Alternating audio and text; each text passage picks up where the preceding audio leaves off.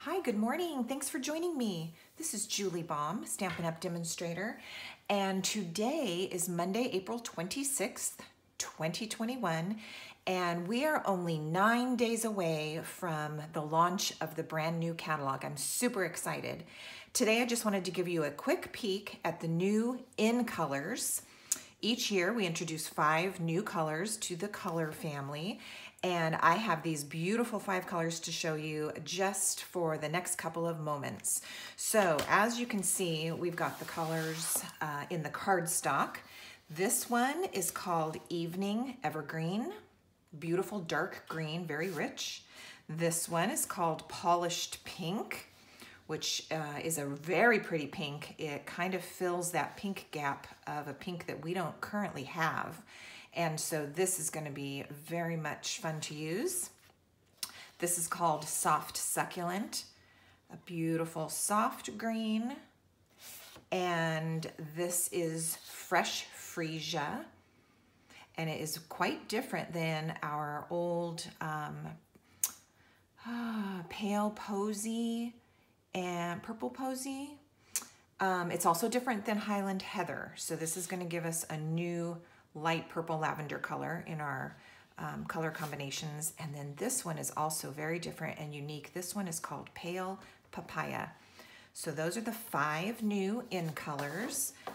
They are also available in Stampin' Blends. So we've got the polished pink, the soft succulent, the pale papaya, the evening evergreen, and fresh freesia. And again, those come in two pin combos, a light and a dark of each color. You can also get the new in colors in the Stampin' Write markers in the set of five. That looks like that. And I will give you a peek at the designer paper in these new five in colors also. Here is the front, kind of a trendy new polka dot look, a plaid, all right, this is the front side of all five colors. And then the back side has different patterns. We've got a little flower and a this stripe with the dots. That is probably gonna be one of my favorites, I can already tell. So there's the flip side of those new designer papers in the brand new in colors. Now for my last moment or two here with you this morning, I wanna show you the ink pads and also remind you of an easy way to get these labeled so that you are ready to use them and they are easy to determine what color you're using. So this one I've already finished. I'm going, going to do one of the others start to finish so you can watch. Um, you might have seen me do this on a previous year when the in colors came out, but I do want to give you a quick little tutorial on this. So this one is done. This is the soft succulent. I've got a label on the front. That way when I put them away, that's the easiest place for me to see my label. Then I take one of the other language labels and I put it on the back. So at a glance, I can at least see the color. Then you can take one of your extra labels and perhaps put one or two of them on the bottom of the pad. So even if the pad is sitting on your work surface upside down, at a glance you can see what color it is. And then the last label I like to tuck right inside here, and I've even written on this one the name of the color, so that if the ink pad is open, you can tell what color it is, because it's very hard to tell by the color of the pad itself. So let me go back, take one that has not been done yet. So this is Fresh Freesia.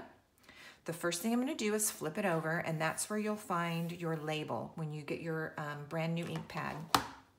So take a tool, perhaps your, um, take your pick tool. It's got a good little spatula surface and you can get under there.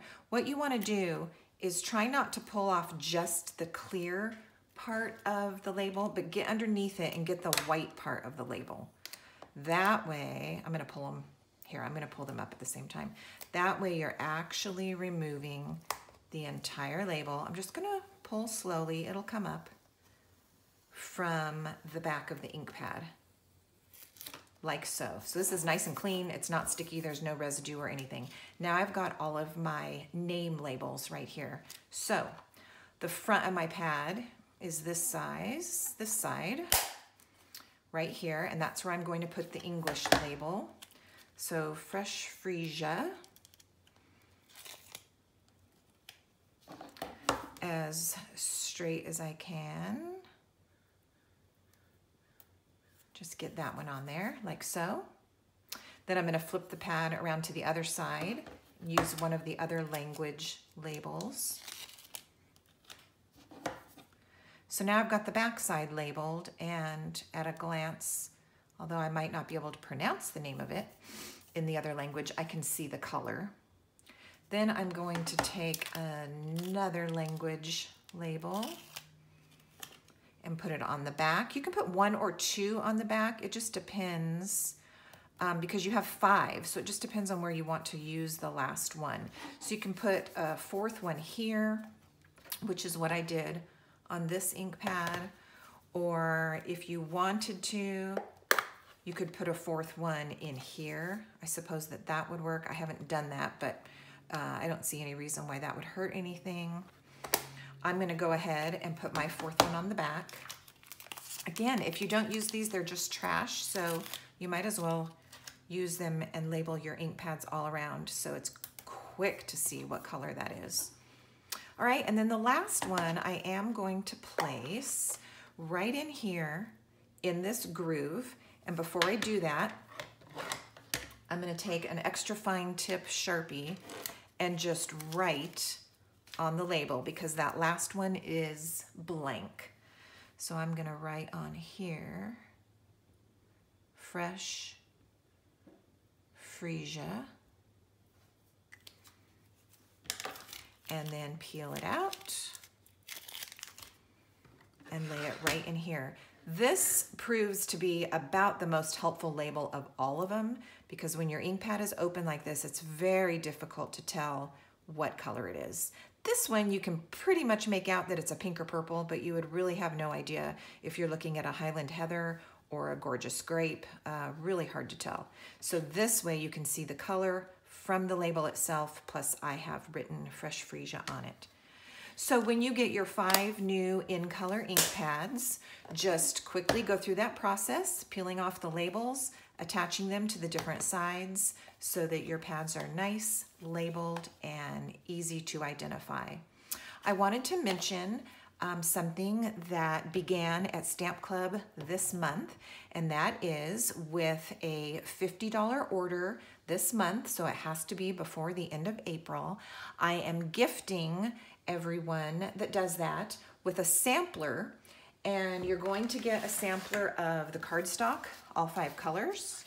You're going to get some of each of the five ribbon colors and you're also get, going to get some of the DSP, and that is actually going to be this um, brand new Pansy Petals designer paper. So this is the 12 by 12 paper. I'll be chopping this up into smaller pieces to create the share, but you're going to get pieces of this paper, the cardstock, and the five ribbon colors for free um, with a $50 order this month.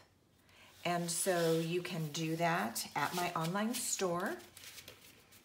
And you can use um, this host code here if you want to take a quick screenshot or write that down.